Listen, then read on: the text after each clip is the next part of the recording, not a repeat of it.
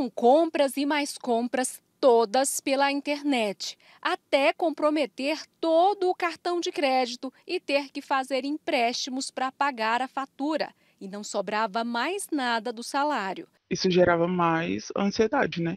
Porque não tinha nem como mais fazer empréstimo e também não tinha mais como usar o cartão. E aí foi ficando cada vez mais complicado.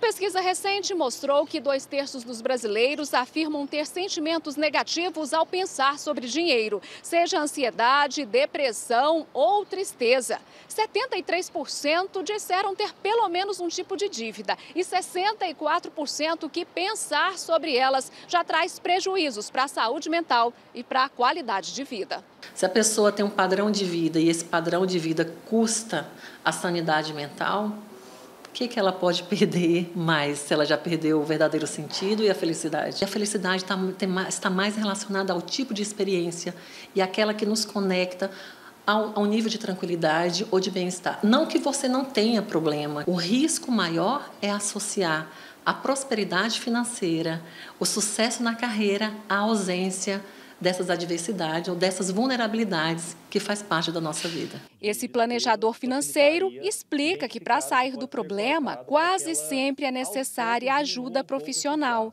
Quem tem alguma dificuldade com dinheiro geralmente não sabe definir sozinho o que é prioridade, mas é preciso começar com o que se tem no momento. Fazendo uma pequena lista com as despesas fixas, despesas variáveis, até para conseguir encontrar qual é o vilão naquele orçamento dela. Algumas vezes é complicado a pessoa conseguir enxergar isso sozinha. Talvez se ela tiver um, uma pessoa de confiança, um amigo próximo que pode ajudar ela nessa avaliação, a questão da lista de, de despesas facilitaria identificar o que pode ser cortado para que ela aos poucos diminua um pouco esses gastos. Se perguntar o que é preciso para viver e ter paz, e não apenas para que se pareça bem-sucedido, é um começo para achar a resposta do que necessita de mudança. O planejamento financeiro ele precisa ser sustentável, da mesma forma que, por exemplo, um plano alimentar.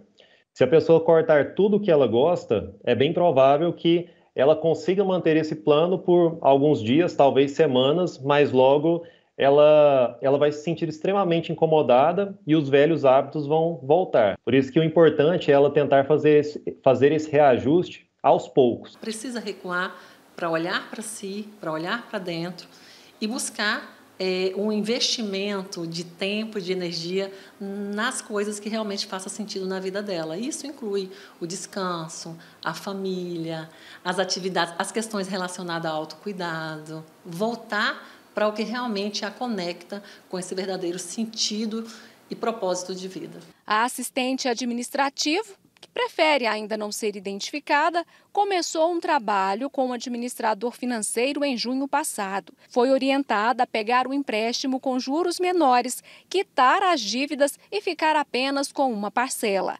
A recuperação das finanças vai até o ano que vem, mas o alívio já começou a chegar eu tenho a, a, planilha, né, que, que a gente fez junto durante os nossos, as nossas reuniões, e até o ano que vem a gente vai conseguir organizar isso daí, e aí a minha conta fica positiva com dinheiro na conta, não é tipo, tipo assim, é, sem dívidas, é com dinheiro na conta.